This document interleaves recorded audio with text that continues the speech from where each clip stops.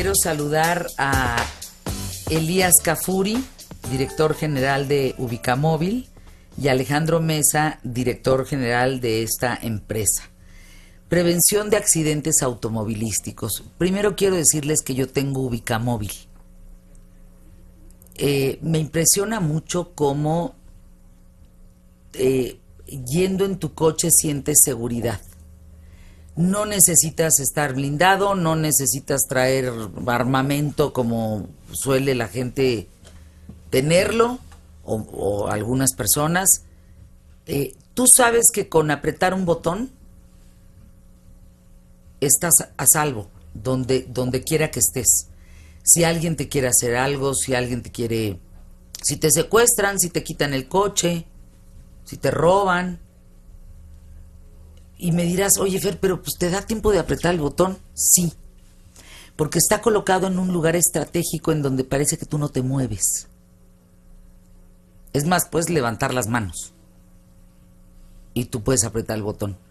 A mí eso me, me, causa eh, eso, seguridad. Tranquilidad. Tranquilidad. ¿Cómo desarrollaron este sistema y, y qué tiene que ver este botón que uno conoce en la prevención de accidentes? No, no entiendo.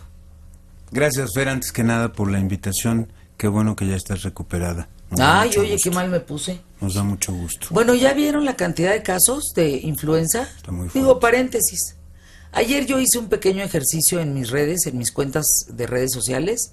Salieron más de 400 personas a la redonda. Familias que el 60% estaban con calentura. Bueno, ya hasta el Papa Francisco tiene calentura, temperatura alta. No vaya a ser la de malas, ¿no? Pero gracias por tus buenos deseos. Qué bueno. Eso mismo le deseo a la gente que pues está enferma de influenza. Bienvenido. Muchas gracias. Es un aparatazo este, ¿eh? y digo aparatazo porque pues es todo un aparato lo que lo que ayuda a, un, a Ubicamóvil, ¿no? Es correcto. Ahorita en estos momentos, eh, aparte de todo lo que ya conoces de la recuperación vehicular, el control por telemetría con muchos accesorios para la productividad y la logística y la seguridad, Venimos ahora con el lanzamiento de tres nuevos productos que están orientados a prevenir accidentes. Por favor, Alex, si nos das algunas cifras. Claro que sí. Son cifras realmente alarmantes, Fernanda. Eh, tenemos una cifra de 378.200 accidentes automovilísticos en todo el territorio nacional. Es algo al año alarmante completamente. 300. Sí, es la segunda. 378.200 accidentes. Es la segunda causa de muertes en el territorio nacional. Y principalmente, obviamente, en jóvenes. Es algo. el tema del alcohol, puede ir distraídos, o del celular. Los hábitos de manejo, eh, incluso las cifras de la Policía Federal, hablan de que el 80% de estos accidentes, de estos casos de fallecidos, es provocado por los malos hábitos de manejo del conductor. Como bien lo dices tú, un tema de alcoholismo. ¿O distracción? O distracción.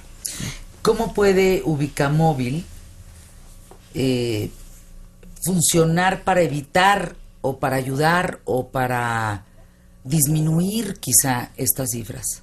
Eh, precisamente la implementación tecnológica que acabamos de lanzar consiste el equipo que ya tienes oculto instalado en tu vehículo, le agregamos una camarita en el tablero que te está viendo todo el tiempo. Detecta fatiga o distracción. Si tú parpadeas mucho, cabeceas, volteas, te avienta un bibi, ponga atención. ¿Qué estás diciendo? Sí. Ay, no, oigan, a mí a mí sí hoy me están dejando con el ojo cuadrado en el tema, con la oreja cuadrada, ¿no? También en el tema de la tecnología. ¿Cómo? Sí. Vivi, despierte. Vivi, por favor, ponga atención. Ese ponga atención salva miles de vidas. Te manda una foto a la plataforma para decirte por qué el chofer se, se viene durmiendo. Tú le mandas o le hablas por teléfono con nuestro sistema de voz y le dices, despierta, ponte a descansar, haz algo pero te estás durmiendo, te estás distrayendo. Si tú te llevas un celular igual al oído o una cajetilla de cigarros o algún objeto, también lo detecta y te, y te alerta. Si tú estás con lentes oscuros, también te detecta. Es una tecnología novedosísima que se llama Perclus. Entonces, ¿qué hicimos nosotros? Implementarlo con nuestro GPS para prevenir accidentes. Y esto los baja de una forma exponencial. ¿Cómo detecta el alcohol? Estamos por desarrollar en el volante un eh, sensor que mide el pH de la piel. Al medir el pH de la piel yo sé cuánto nivel de alcohol traes. Eso se lo- le mando entonces un valor al GPS y él me dice, le paro el motor, no puede, no puede trabajar esta persona porque está alcoholizada. Y mientras... ¿Y le paro el coche? Le paro el coche. Se para automáticamente al detectar en el volante que el pH tiene eh, eh, alcohol elevado. Y si me permites complementarlo, independientemente de esto, mientras que lo podamos ya sacar al mercado, si detecta que te estás cambiando de carril, por mínimo que sea, que te estás moviendo a otro carril, inmediatamente te alarma. Y te puede mandar una alarma directamente a plataforma para decirte, oye, estás manejando si de te una forma. aproximaste demasiado, casi chocas, te avisa. Como los sistemas- Oye, qué estrés. Digo, de verdad entiendo lo que quieren decir, pero uno le puede bajar el volumen a eso, ¿no? Sí, por supuesto. Es decir, esta camarita va orientada mucho a operadores de transporte, que es el 80% de, Ah, los no, accidentes. es que- La otra solución va para el auto particular, tu coche. No te, te- no te está viendo, al contrario, está viendo al frente y, al- y a los alrededores. Si te aproximas mucho, bip, bip, ponga atención. Si te desvías, si te cambias de carril sin poner la direccional, bip, bip. Si traes un ciego, el famoso lado ciego Sí. atrás, igual traes un ciego y tú te en estás el- en el moviendo. espejo retrovisor. Exactamente. Si te aproximas demasiado, bip, bip, bip, bip, bip, tiene sensores ultrasónicos, como los Doppler que te están midiendo la velocidad en la carretera, que rebota y dice, "Ah, aquí hay un peligro. ¿no? Igual los excesos de velocidad. Esta tecnología está salvando miles de vidas. No, no estoy... Miles de vidas. Es que claro, en el... Fíjate, nos escuchan muchos traileros, Sí, eh, gente del transporte que está horas y horas y no descansa. exactamente.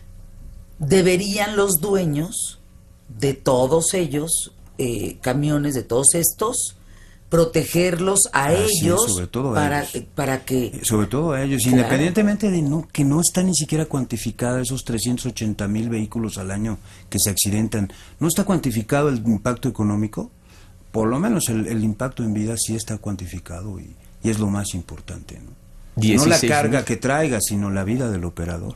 16 mil muertes al año producidas por accidentes automovilísticos. Es que les decía esto del estrés, porque ¿qué creen? También fui víctima de las multas en exceso.